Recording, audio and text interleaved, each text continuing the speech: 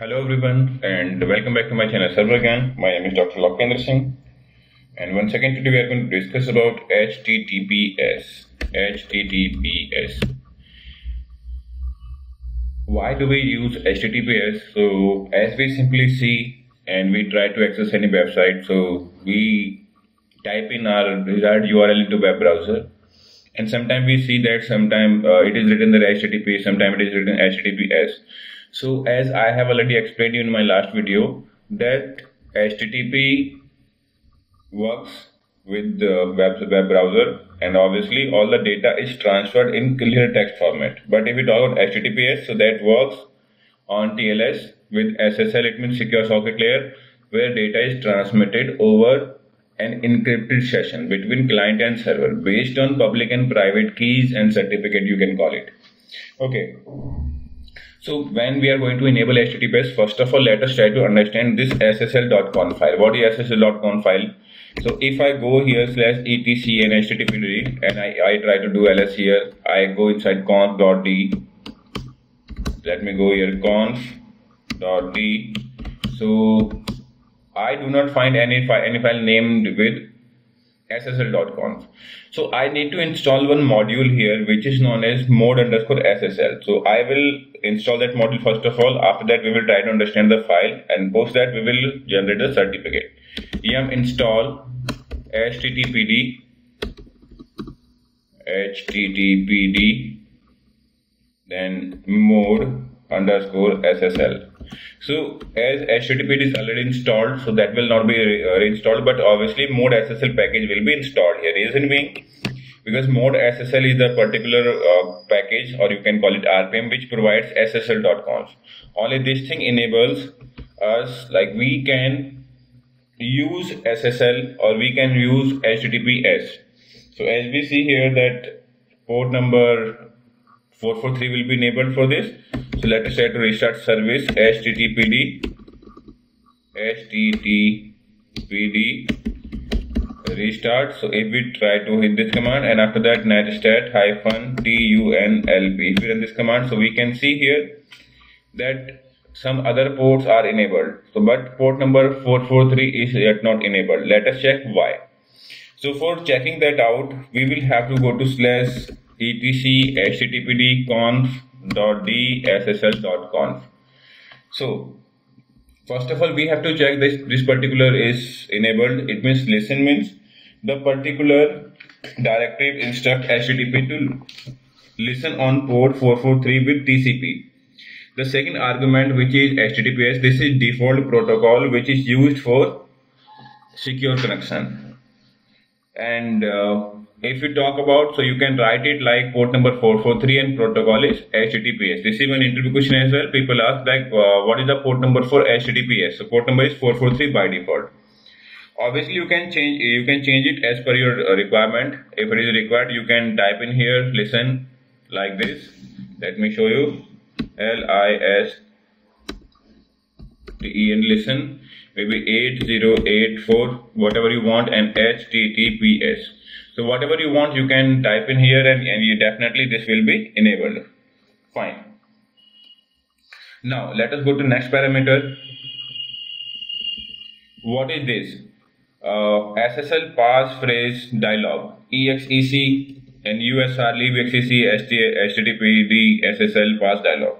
What does it mean? It means if your keys, whatever you are going to generate, if these are encrypted and you want that obviously the particular passphrase should be given in some encrypted file or that should be given that should be read using this particular. So you can mention your file here where you can keep your passphrase because it will be quite secure and you will not be required to give your password each time as, as and when you are going to restart your service. Okay. So once again let me explain you like if the private key is encrypted with a passphrase why we are using this why we are talking this i'm going to explain. If a passphrase or you can call it if a private key is encrypted with any passphrase httpd needs a method for requesting a passphrase from a user at the console at startup. Whenever you will restart the service so it will prompt one password on the prompt. Let's say you wrote a service system CTL restart HTTPD. Now it will ask you for password. So this is a particular file which will ask you for password prompt. So that is it. It means password prompt will be given to you using this file. If you want to make it like passwordless, so there we will discuss that later on. Okay. Now let's go to virtual host. What is virtual host? Let me show you. Okay, okay, okay. That's my bad. I have done something wrong here. Okay, I have modified that. So V I R T U A L virtual host. So what is this virtual host? So right now, as I already explained you, that default underscore 443 it means it will listen everything this is equal to asterisk it means star you can talk about so this is default value okay it means this virtual host defines for cache all virtual hosts on port 443 all the virtual hosts will be cached on this particular port okay? Now what is next? Ssl engine on. Okay let me search here. Ssl let me search here SSL okay this is SSL engine on. If this directive is not enabled so obviously your port will not listen on your server. So that is known as SSL engine on after that let's go down a bit. This is SSL protocol. What is this? This particular set of protocol all minus SSL v2 and v3 it means these particular two protocol will not be accepted by your Apache. Reason being if you are going to use these weak ciphers or weak protocols over internet connection so ssl v3 and ssl v2 both are vulnerable and there are so many vulnerabilities which have yet not been fixed. So this is recommended to you guys to please use only those protocols or services which have quite high security at their end. And for sure use tls v1 or maybe v2 but what happens is if your clients are using still old browser maybe they are using firefox 30 version or maybe they are using chrome maybe 2021 version it means they are using really old browser. So they shall be uh, able to access uh, your service with this particular server with this particular uh, cryptography or you can call it like security method. But you need to make sure that if your clients are using still old browser you need to make them upgraded anyhow. Otherwise there will be a breach in security. Most of companies who are working on security they are uh, preferring to use tls v1 or v2 one more thing i would like to suggest here that this is not one time activity. If you have configured your service one time so that will be working for long.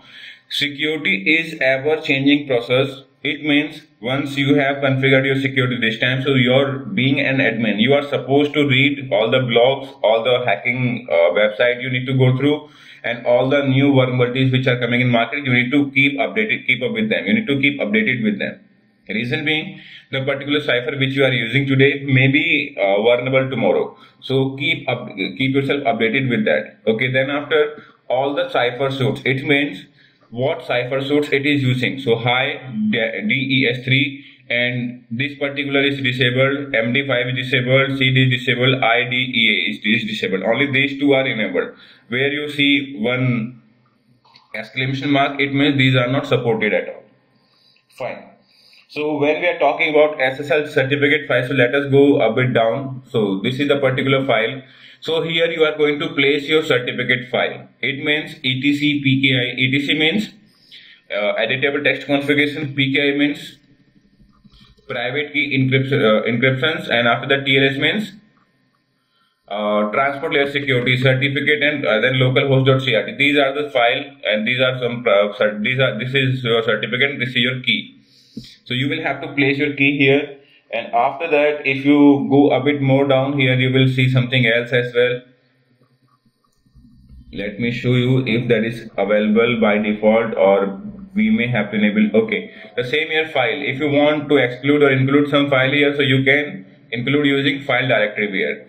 Ssl option you can include or plus or minus both are available here so you can modify these. So for doing this you will have to definitely go through your ssl.conf properly.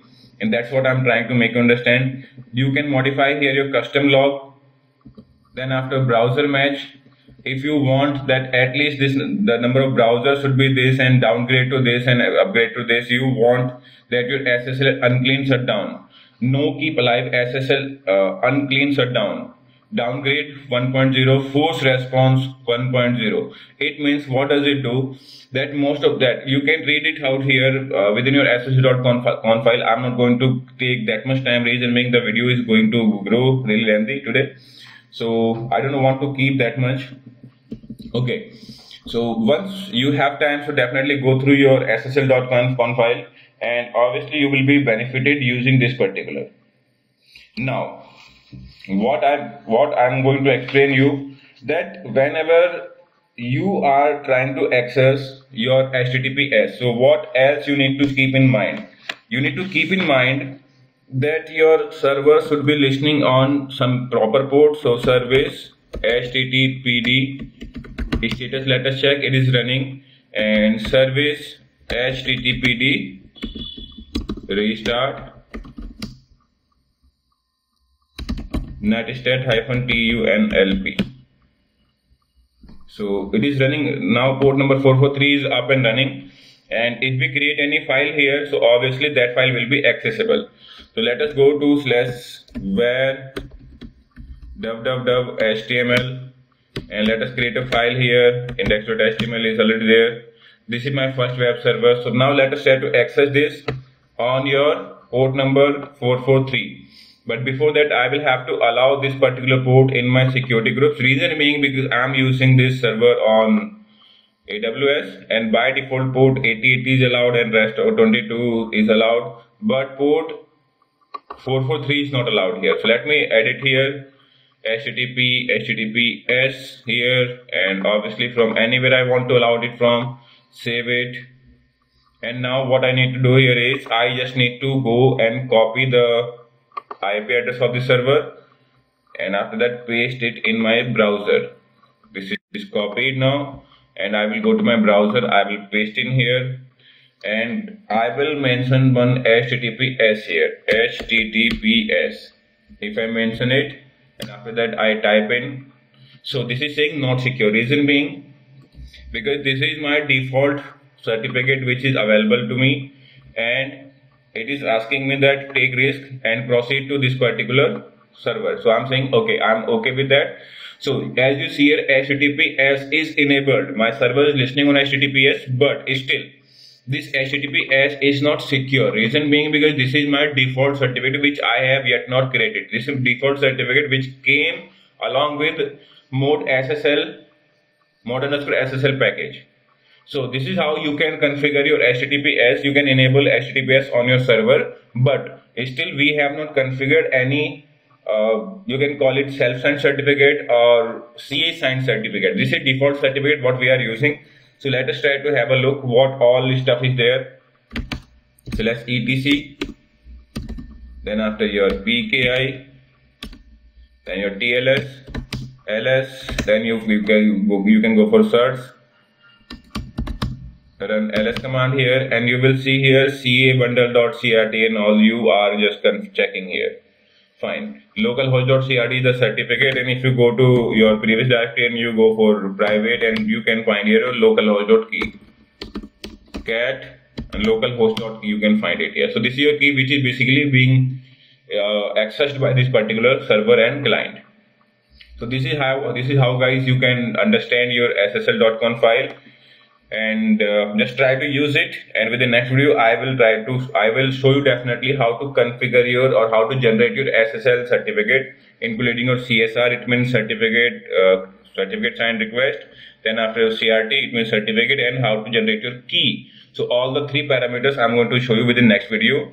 So till then happy learning. Have a good time.